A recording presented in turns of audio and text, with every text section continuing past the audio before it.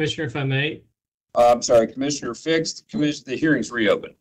No, no, no, no, no, that's fine. I, I, I'll reserve my comments for when we have a, an opportunity to vote on it. Um, just wanted to say that I gotta, uh, jump and, and get moving, but, um, I do appreciate again, you guys covering all of you and uh, appreciate the opportunity to participate virtually today. And I wish you all a great Fourth of July. And, and we wish you well on your, your family situation there and hope that you get a chance to enjoy the holiday as well, sir. Thank you. Thank you. Thanks, guys. Public hearing is closed. The next public hearing that we have on our schedule has to do with the RPIG, and now I'm forgetting what the acronym's for. Residential Public Infrastructure Grant. And Holly, are you leading that discussion? Can you join us? I I got them all, man. Used to West Side in Texas. I got a couple. Good morning. And um, I do have a sign-in sheet that's being passed around. It is one of those formalities that we have for the CDBG grant. Uh, So uh, as that goes around, if you could please sign in, we would greatly appreciate it. So this is a grant that is being offered through the Ohio Department of Development. Uh, every- Everyone in ODOD refers to it as the RPIG um, grant. So I love how everybody's saying RIP, RPIG here, the RPIG. It's it's interesting concept. Um, but this does have to do with um, public water and sewer um, improvement projects.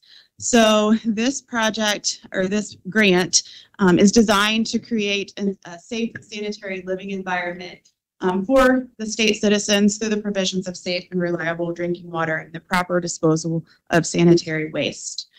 The maximum grant amount is seven hundred and fifty thousand and could include the water and sewer project itself, so the replacement of those major systems. It can also include on-site improvements. And what the state means by that is the laterals that service the individual homes, or if there's something that's not central water and sewer, maybe an on-site well and septic, those types of systems.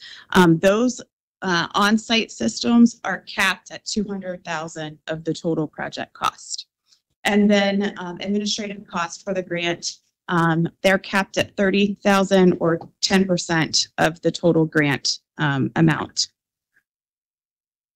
Eligible jurisdictions include non-entitlement counties, cities, and villages. And what that means is if a community doesn't receive CDBG, CDBG funding directly from HUD, the um, federal government. Um, we do not. We receive ours as um, from the state um, allocation program. Um, so we are an eligible community for the residential um, public infrastructure grant.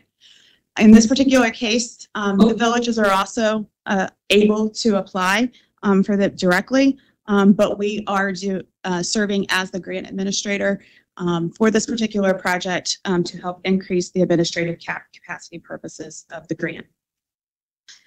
Uh, projects can include water and sanitary sewer services as long as they provide at least 60% um, of service to residential uh, users. Um, so it's meant specifically um, to predominantly um, benefit residents and not businesses. Uh, there's another program that it gets bumped to if it is um, for economic development purposes. Um, each eligible project must have its own health hazard. So this particular case, what we're going to be talking about today is just a sanitary sewer project. But if we had a water and a sanitary sewer project, they would both have to have a health hazard. They can't have one combined hazard. And then again, those on-site laterals and other on-site improvements are eligible projects. Some of the guiding principles for the grant, uh, leverage must be at least a one-to-one match. Um, it does have to have the health hazard that I was mentioning. Um, typically, they like to see some kind of EPA uh, mandate. Um, the particular case that we have today doesn't have that mandate, um, but we will be focusing on that replacing a functionally obsolete facility.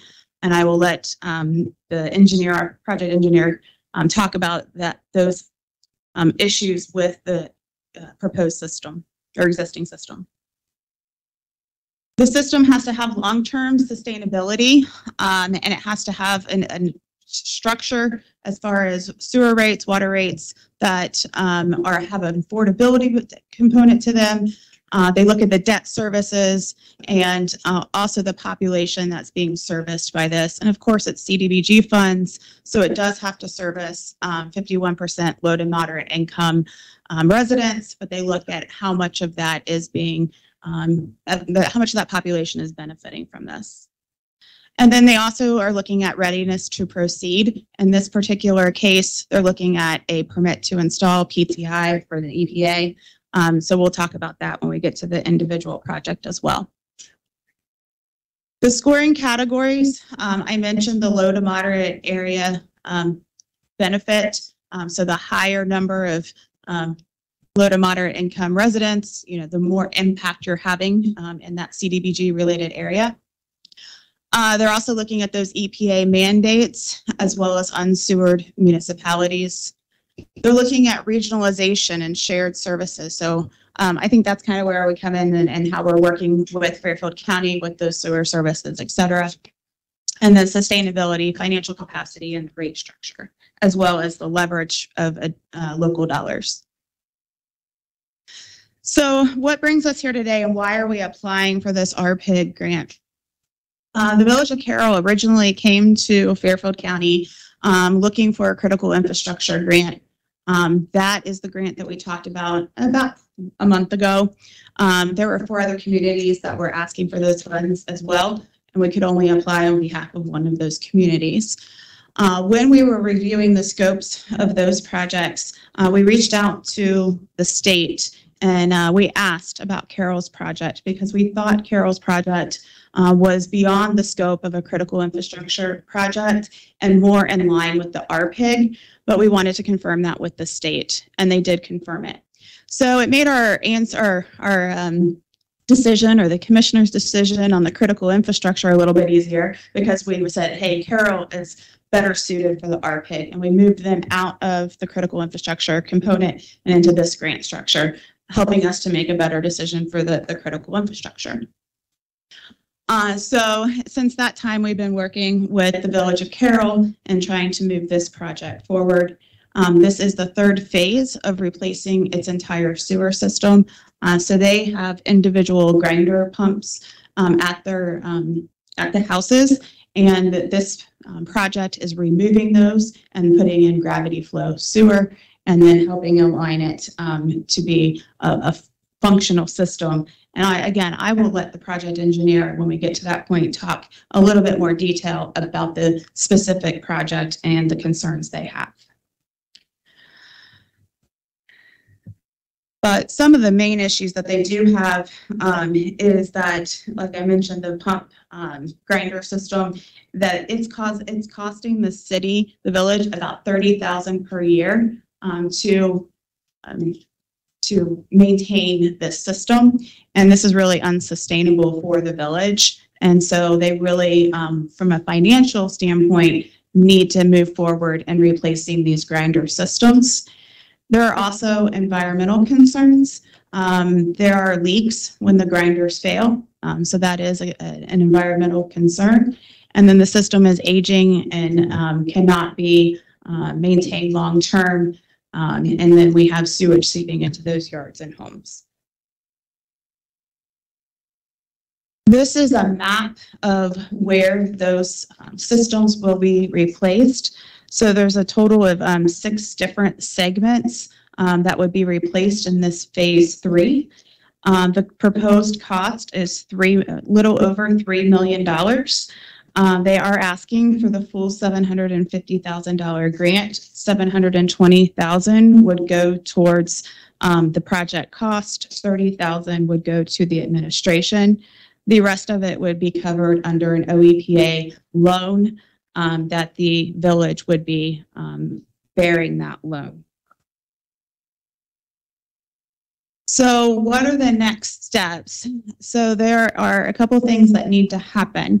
Uh, it's been mentioned previously today that we have authorizing legislation um, to select the project um, to submit an application for the RPIG funding. So if the commissioners decide that this does make sense um, to move forward, then you would adopt that authorizing legislation at the conclusion of this public hearing. And then that will allow regional planning to submit the pre-application to the Ohio Department of Development.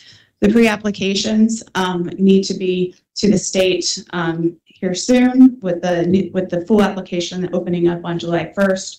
Um, So we're going to turn around and get that pre-application to them um, ASAP. Um, If we are accepted under the pre-application, then the state would open up the full application within the OCEAN system, which is the system where we actually, online system that we upload and actually um, officially apply for the funding.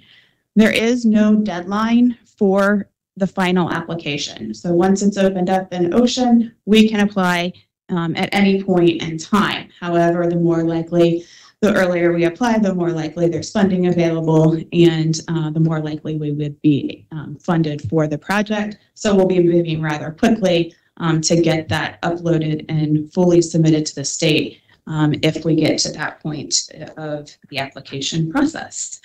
So with that, um, I will turn it back to you and I would um, introduce Gary also with um, DLZ Engineering. He is here on behalf of the Village of Carroll. He's their um, project engineer and he can explain any of the details of the actual project. And then I uh, just want to also introduce the mayor of uh, Carroll. Everybody knows him, but Urbina is here with us um, in support of the project as well. So I'll turn it over to you, Mr. Chair. Thank you. And what we'll do, just to add some degree of formality, is we'll call this proponent testimony. And at this time, I'll ask if there's anyone who would like to speak in favor of the proposed project. Gary Sokol with DLZ. If you would, there, there are still uh, a few folks who are participating online and listening to our meeting, and and if you're at the podium, they have a better chance of hearing. you. Please. Uh, thank you for the opportunity to come in. Um, we've been working with the Village of Carroll for about five years now, trying to replace this system. You guys have actually already submitted a critical infrastructure application a couple years ago that was funded. It Helped us do what we call phase two. Um, one of the unfortunate or fortunate circumstances as you look at it is the village already has a sewer system, system pressure system. So every individual house has a grinder pump. And it's getting to that point where it's twenty plus years old and the pumps are starting to go bad and we're starting to have they go bad, sewage comes up and goes out on the ground, so it creates a health issue. Um, that's all I mentioned. It creates an expense to the village. I mean, they're spending thirty grand. We did check, they're doing a little bit better now since we've replaced maybe about forty percent of the system. So what we're doing is helping. But the problem we have is they still owe on the loans from the original system, so taking on more debt just makes it harder for them. So we're kind of doing this in phases so we can go back and hit the funders up several times uh, we were hoping this was gonna be the last phase. Um, since we started this, anybody that's been in the construction industry knows what's happened to construction prices in the last couple of years, so things have went up dramatically, so we're gonna dial this back a little bit, to try to get it in a range that the village can afford. Um, last year, we, we were the first loser. When it came to the EPA, we've been applying to the EPA, there's what they call principal forgiveness, which is a grant. Uh, we potentially could have got four million dollars is what we asked for. But like I said, when in the list of projects that got funded, we were the next one that didn't get funded, so we were the first loser. But, Uh, so we're working on that. We did talk to the EPA. Uh, one of the things they asked for was, you know, we have our PTI, and we said, look, we've been holding off on the PTI because they're only good for eighteen months. And knowing that we need the grant funding, we don't get it, then the PTI expires and it costs the village again to apply for it. So um, we've been, we've been having monthly calls with them, so we think there's a chance we could, could get some grant from them as well um, which will help support the project and get it done. If that happens, potentially we finish up everything in this next round.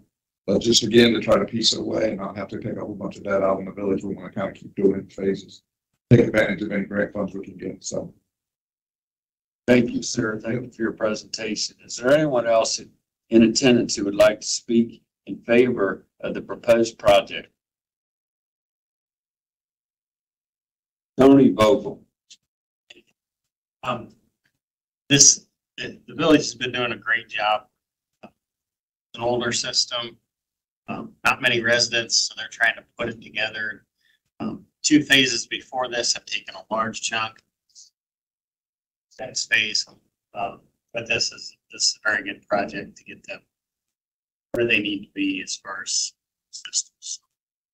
So folks, now we have microphones above us, which is why I make you guys come up and other people can sit down. It just has to do with the way the, the room's mic. Is there anyone else who would like to speak in favor of the proposed project? Mayor, we'd like to hear from you. Good. I would. You're Not getting out of here free. Oh, That's open. Good morning, everyone. Hey, I just am asking for the commissioner's support for this project, and I think everybody's gets the history on the project. It really started when the school built on Carroll East Road, as they wanted sanitary sewer, and our old system couldn't handle the school. So with previous mayor and Gary got together and, you know, decided on the gravity system. And that does help everyone, not only the employees, but also the residents. I know it's small potatoes, but for one, you don't have the sewage run in the yard if your pump quits. But also you don't have to pay that little bit of electric bill from the pump. You know, I know it's a little bit, but that does help. Anytime you can save a dime, it does help. So it does also help the residents. And it helps employees. Our sewer goes to the county, so in turn, it does help the county. So I think it would be a good project to get funded, and we do hope that we can do the whole thing be done. But thanks, Thank you for being with us today. yes. Is there anyone else who would like to speak in favor of the proposed project?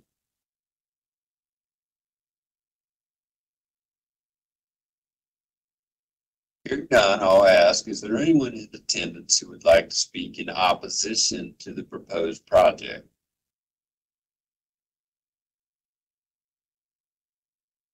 Hearing none, I'll ask if there's anyone in attendance maybe doesn't have a strong feeling about whether they're in favor of or opposed to the project, but has a comment, a question, or a concern that they'd like to raise at this time.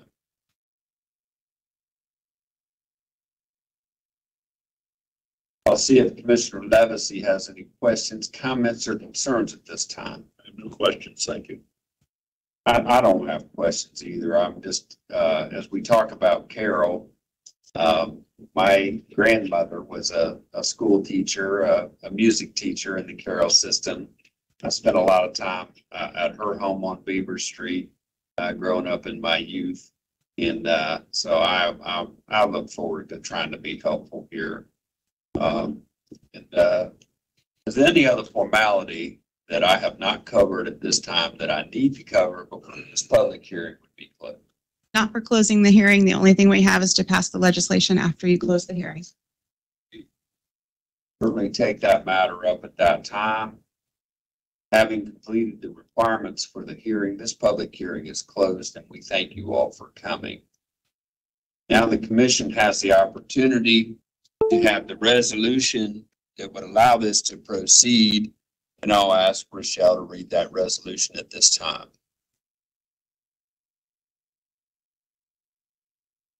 Resolution twenty twenty-three six dot twenty-seven dot EE, a resolution to approve the PY twenty twenty-three residential public infrastructure grant application. So moved. Second, discussion?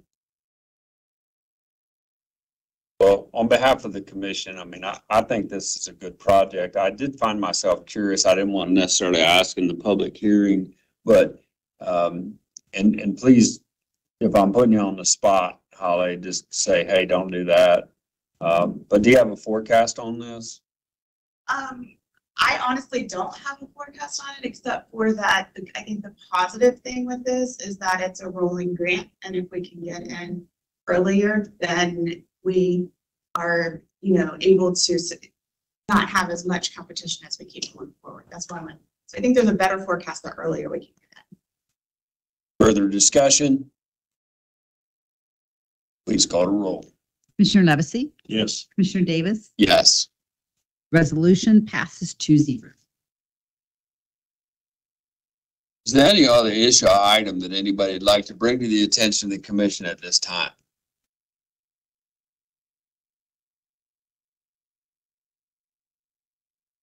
I'll accept a motion. Motion to adjourn. I got a motion to adjourn in a second. All those in favor signify by saying aye. Aye. Aye. Opposed, same sign. The motion carries. The commission is adjourned and we thank you all for coming and hope you have a nice Fourth of July holiday. Thank you.